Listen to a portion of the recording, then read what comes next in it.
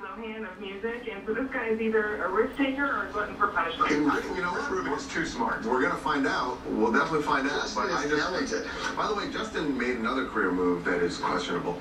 Um, we're gonna talk about the towel. Oh, we should do the towel. This Yeah. is hilarious. Uh, this is he- hilarious. He decided that he was gonna desperately, I think, show